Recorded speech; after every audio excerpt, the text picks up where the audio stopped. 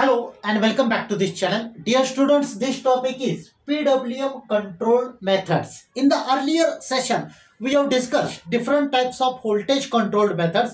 One of the most important voltage control method is pulse width modulation that is PWM control method. From the exam point of view, we may expect the question like this. What is PWM control method? What are its uh, uh, types? Explain it along with the suitable waveforms.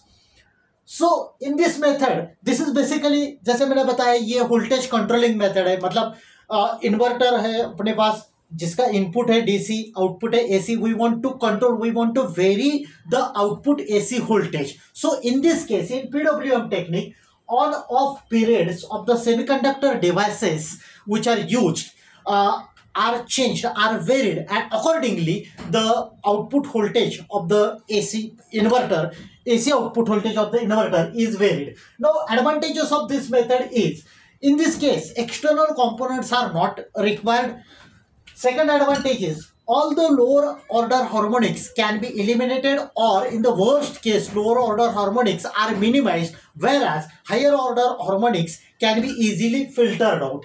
Now there are different types of pulse width modulation voltage control. So first type is single pulse width modulation it is abbreviated as spwm next is multiple pulse width modulation that is mpwm and Third is sinusoidal pulse width modulation that is sine PWM. Now let us discuss each type in detail. Now the first type of PWM is single pulse width modulation that is SPWM. As the name indicates, a single pulse is used during half time interval. अब देखो, look at this graph. This graph is basically graph of V versus omega t. The different intervals are marked as 0, pi, then 2 pi. This value is pi. This value I am talking about. So between 0 to pi, one pulse is generated. So it is single pulse width modulation and width of this pulse can be varied, can be changed. Now how to do it? This black ink diagram, this graph is used as a reference graph. So this is the reference signal. Oh, sorry, this is the carrier signal. So this black colored graph is representing the carrier voltage whereas this red colored graph this is the reference signal. Now this reference signal is square in nature whereas this carrier signal is triangular in nature.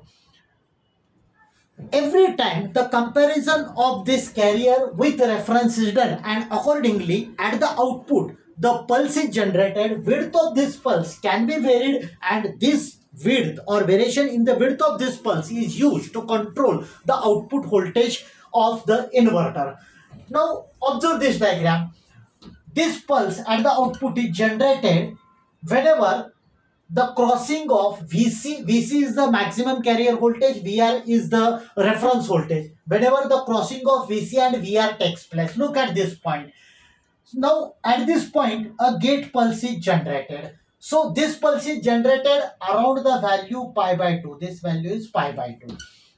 Width of this pulse is 2D.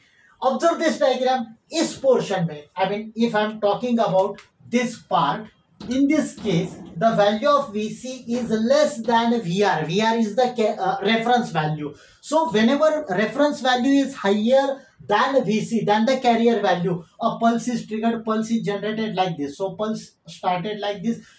Whenever this value, reference value becomes less than the carrier value, देखो इसके आगे carrier का value ज़्यादा है. So, during this time period, I mean at this point, the pulse ends. So this is the pulse that you are getting at the output. This is the gate pulse which we'll be using uh, for controlling the semiconductor devices. Width of this pulse is denoted by 2D. We can well observe that this pulse is centered at value pi by 2.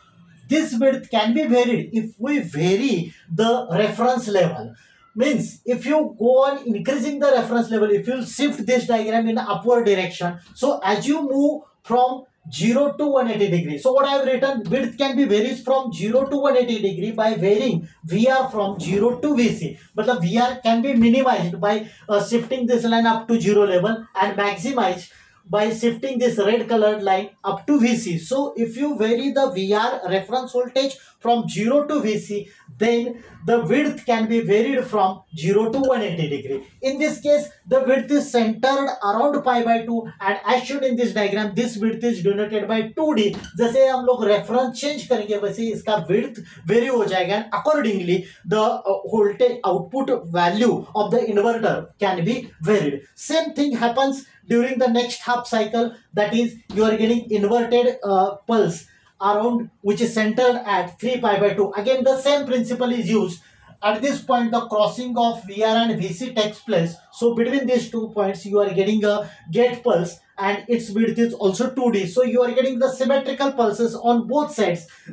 So this is the single pulse width modulation abbreviated as SPWM the second type is multiple pulse width modulation that is MPWM.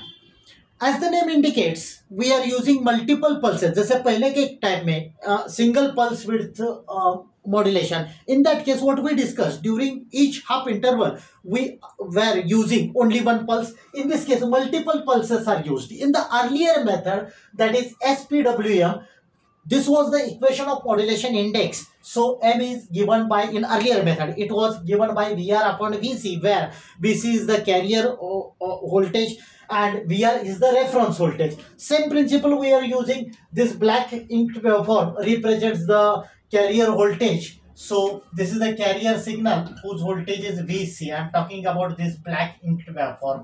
VR is the reference signal reference voltage. Here multiple pulses are shown. I mean multiple times the comparison between carrier and reference waveform takes place and the gating pulses are generated. बहुत simple है जैसे last case में एक ही pulse generate हो रहा था अब देखो ये पॉइंट देखो जहाँ पे क्रॉसिंग हो रहा है यहाँ पे एक गेट पल्स जनरेट हो जाएगा like this because at this point the reference voltage is higher than the carrier voltage so gate signal is generated. Likewise you are getting different pulses. Similarly you will be getting multiple pulses in the other part in the other waveform uh, in the other half cycle also. That means from uh, pi to 2 pi. So these pulses are obtained or centered around pi by 2 and 3 pi by 2 now the major part in this case is the modulation index is given by fc upon f0 where fc is the frequency of carrier signal uh, and f0 is the reference frequency. This fc that is the frequency of carrier signal decides the number of pulses per half cycle because as you go on changing these triangular pulses that means the frequency of carrier signal the number of gate pulses will change because every time it will be uh, compared with the uh, reference uh, signal then FR or F0 it is used to set the frequency of output voltage. So depending on the requirement, we can vary the carrier frequency and accordingly, we can generate the number of pulses at the output. Here, compared to the earlier method, the harmonics are greatly reduced. So this is about multiple pulse width modulation. Now the third method is sinusoidal pulse width modulation that is sine PWM. In earlier method that is multiple uh, pulse width modulation. We discussed that multiple pulses are generated during each uh, half uh, period. But the width of each pulse, there were multiple pulses, but the width of each pulse was equal. In this case, the width is not equal because we are using a sinusoidal pulse for the reference purpose. This diagram, red color diagram, this is the sinusoidal pulse. Whereas this triangular pulse as usual indicates the carrier signal. So this red color pulse is the reference which is sinusoidal waveform.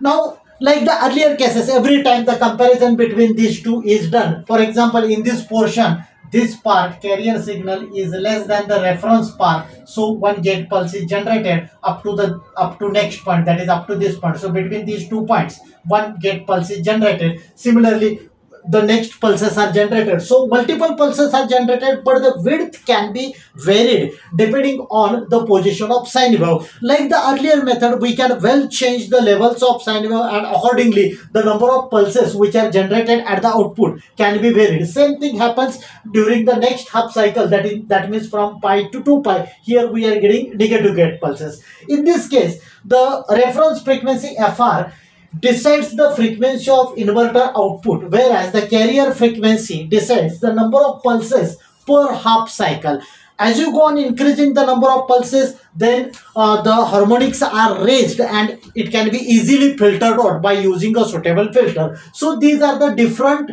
pulse width that is PWM pulse width modulation techniques used for controlling the output voltage of an inverter. So dear students that's it for today's session. So thank you. Thanks a lot for watching this video